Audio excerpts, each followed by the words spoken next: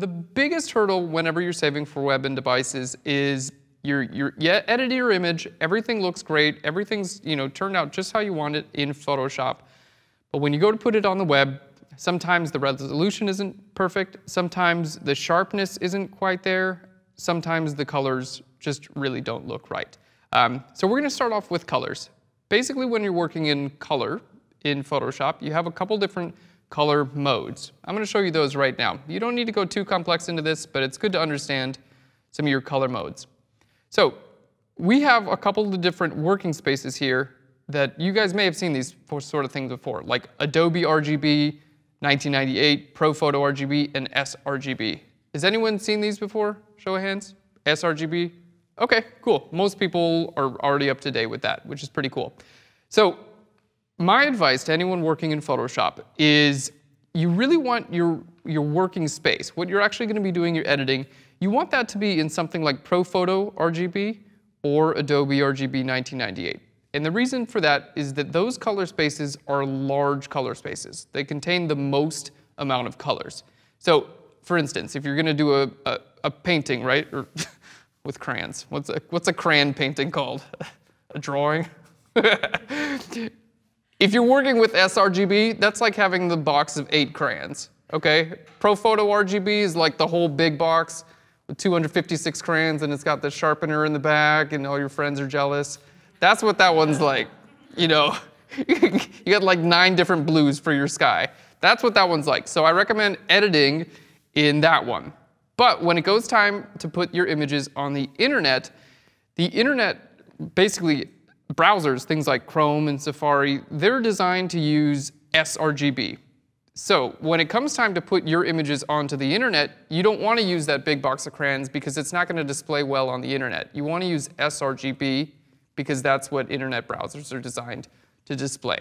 So, easy way to get around this, work on your image in, in the color spaces like Adobe RGB 1998 and ProPhoto RGB. And when you're getting ready to save, you want to hit this button called Save for Web and Devices, which is what we're going to show you now. Okay, so save for web and devices. It's, it is what it is, right? It's like, I want this on the web okay, I'll go to this File, and we'll hit Save for Web. Now, this is uh, the newest version of Photos, Photoshop CC 2015. Um, older versions will say Save for Web and Devices. This one just says Save for Web. So this is your Save for Web. Now, I recommend when you're saving your documents from Photoshop, there are really only two things that I really I recommend you need to save out. Your first is going to be your layered file. This is going to be a TIFF or a PSD. Okay, this contains all your layers. It's your master file. You can come back to it whenever you want. Okay, so that, that one you would just want to use with the regular save command. Now, anytime else you're saving an image out, I recommend using the save for web and devices because that's going to be perfect for the web. It's going to it's going to work for print. It's going to work for you know just about anything else you need to get your images on. So save for web and devices is uh, it, it's a very common dialog. I'm in here all the time. All right, so I'm going to kind of talk you guys through it, um, how to overcome some of the hurdles that you might have when, when getting your images up, and then we're going to show you how to uh, actually preview some of these on the web. So we have a little preview here, which is nice. I can, I can see what my image would look full size. And basically, this is an exact copy of what I saw in my image earlier.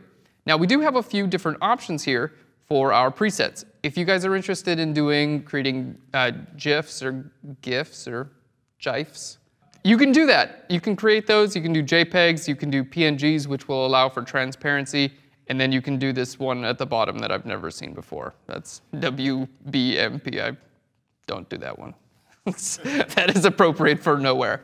Um, anyway, so for now, we're going to choose JPEGs. They display really well on the internet. They compress well. And um, I, I recommend most images that are uploaded to the internet be JPEGs.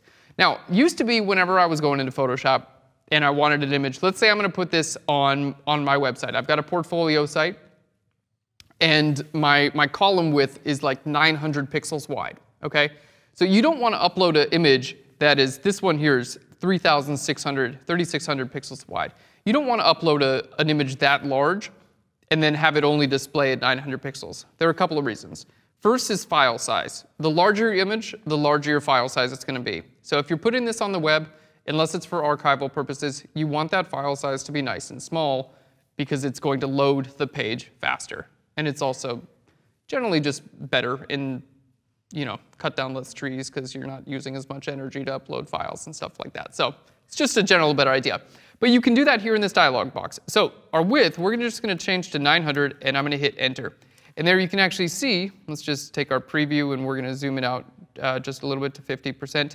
Um, there you can see my image is actually 900 pixels. So instead of having to go through the extra step of resizing and formatting everything uh, before I go into this dialog, you can size everything from the Save for Web Devices.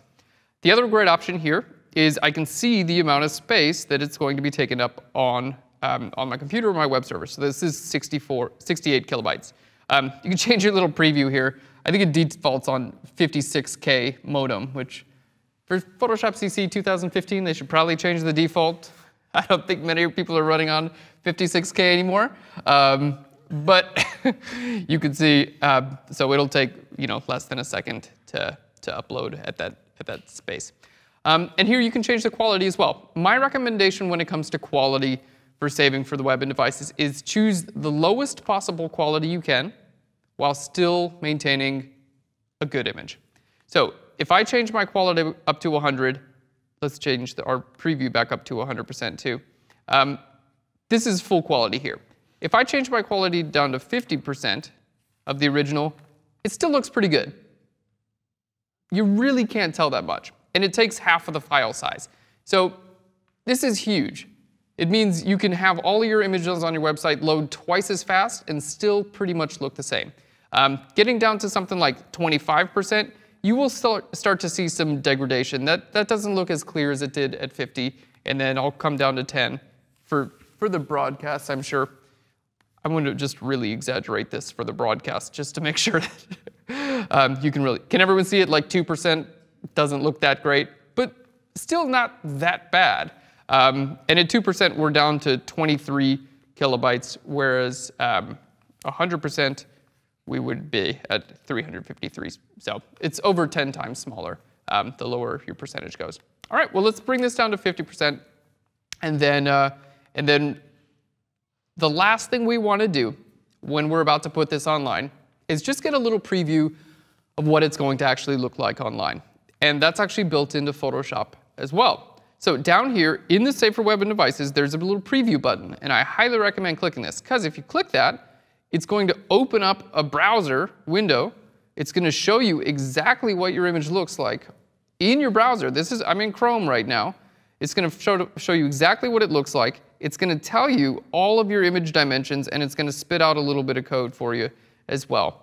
So you never have to worry, what's my image going to look like when it actually gets on the internet? Because this is on the internet. Well, it's, you know, it's displaying on a browser, which is using the exact same technology it would use to display a browser on a browser.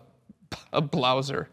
That is, uh, I want one of those, whatever it is uh, on the browser on the internet. So there we go. And uh, we've saved for web, we've chosen our JPEG, our quality, and uh, everything looks good. So we're ready to hit save. We'll just put this right in here into our, into our class images, and we'll call this 10 tips web and hit go. And now we're ready to upload our image, put it on the internet, and, uh, and we're good to go.